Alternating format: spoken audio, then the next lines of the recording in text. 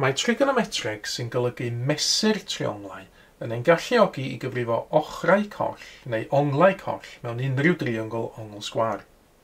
I wneud hynny, mae'n defnyddio tri fformula pwysig, yr rhain sydd ar y sgrin yn awr, sef y fformulau ar gyfer syn, cos a tan. Mae'r cofrif neu'r mnemonic soca toa yn ein helpu i gofio'r tri fformula yma.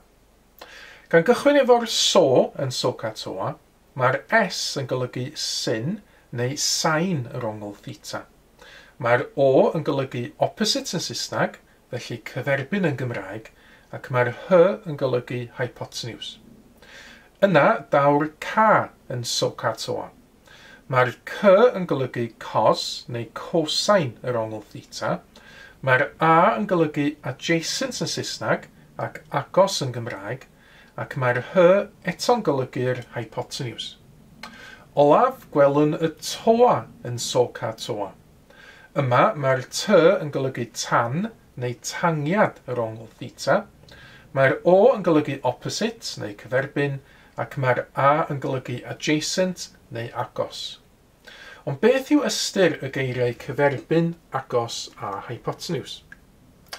Os rydym yn ystyried unrhyw driongl ongl sgwar, fel yr un yma, ac yn labelu unrhyw un o'r onglau lem efo'r ongl theta, yna gallwn labelu ochrau triongl fel yma. Yr ochr sydd gyferbyn yr ongl theta yw'r ochr rydym yn ei labelu efo'r gair cyferbyn.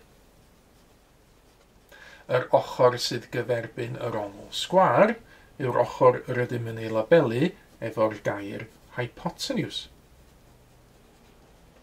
Ac yr ochr sydd ar ôl, yr ochr sydd yn agos at yr ongl theta, yw'r ochr dyn ni'n labelu efo'r gair agos.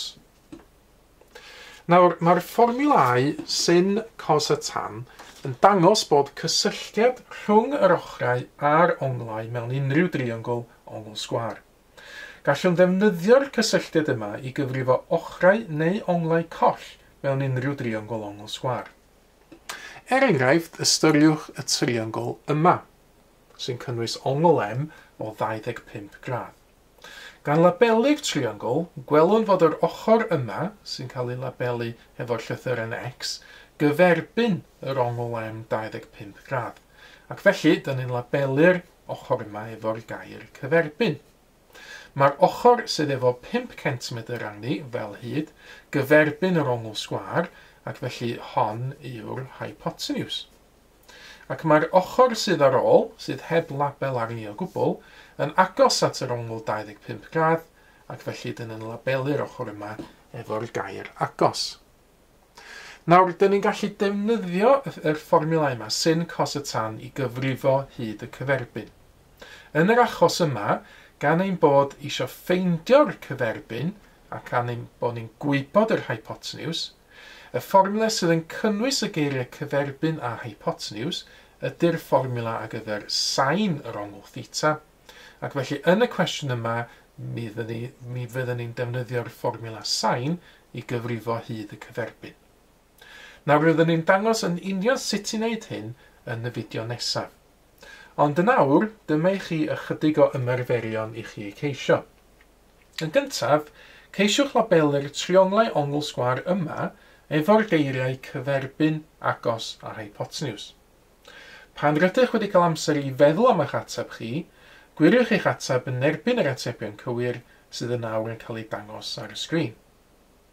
A nesaf, tybed os ydych chi'n cofio'r fformulau a gyfer sin, cos a tan unrhyw ongl theta. Ceisiwch ddefnyddio'r cofrif neu'r mnemonic o gychwyn y fideo yma i lenwi'r bylchau yn y ffracsiynau. Pan rydych chi wedi cael amser i feddwl am yr atebion, gwiriwch nhw nawr yn erbyn yr atebion cywir sydd erbyn nawr yn cael ei dangos ar y sgrin. Mae mwy o fideos adolygu ar gael ar ein sianel YouTube Adolygu Mathemateg.